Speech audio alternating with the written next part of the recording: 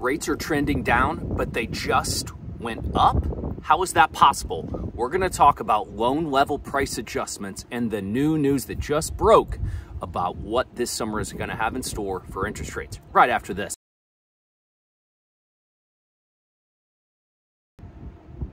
Hey there, my name is Ryan Skaggs, and this is the Mortgage Minute. This channel is dedicated to everything mortgage, real estate, and interest rates, and we're going to start with those interest rates. So, slight decline in rates, getting down into the low sixes, um, only down just a little bit from week to week. Now, uh, late January 2023. Uh, we did have some big news, and that's what we're going to talk about today. By the way, if you want to check out the uh, interest rate survey, it's a weekly survey put out by Freddie Mac. Go down to the link below in the description.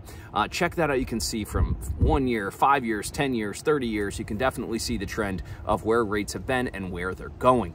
While you're down there, hit that like button, hit that subscribe, and click that bell icon to be notified as I'm putting out weekly videos on the channel. Now, get into the meat and potatoes today. So the loan level price adjustments, LLPA, that was just modified or revamped from Fannie Mae and Freddie Mac. And essentially what happened is, is they came out and said, as of May 1st, these are going to be new adjustments to your price. Now, what that means is it's not necessarily you're going to be paying, you know, a quarter higher in interest rate or whatever else. Interest rates, you know, kind of ebb and flow with the market. And I'll link to a video about how interest rates move uh, right above. So really short video. Uh, check it out.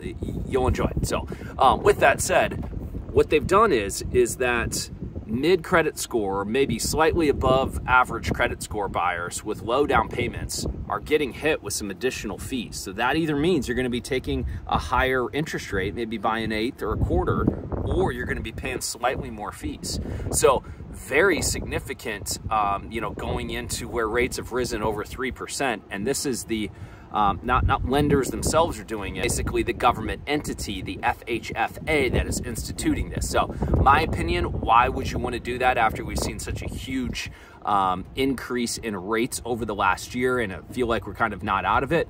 Um, you know, they've got their own opinion on why they're implementing this now. National Association of Realtors, Mortgage Bankers Association, several other associations have, you know, definitely voiced their concern on this. With that said, what is actually happening or what is the other changes that we're going to see? Cash out refinances. So we've likely seen a, a large increase in value of properties over time, specifically down here in Florida right now, which where I'm at. We saw huge increases in property values. Well, they are now going to be considerably more expensive to get cash out. So what they're trying to do is really keep the money set aside for larger down payment. So if you have a lower credit score and a larger down payment, say 30, 40, 50%, but you have a lower credit score, you have less risk to them now in this new revamp plan, and you're going to pay slightly less. So there's some good news in there, right? Um, but a majority of the home buyers that are going to stay at 5 or 10% down with 720 plus credit scores are going to be paying a little bit more. I'm going to link uh, a few items to this LLPA conversation.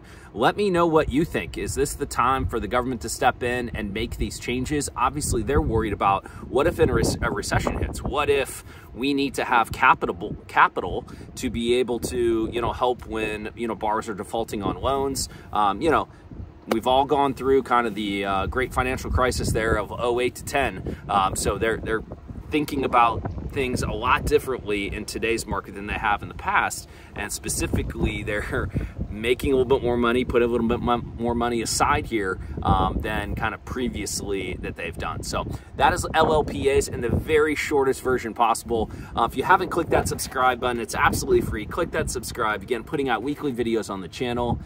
Stay safe, and we'll see each other again very, very soon.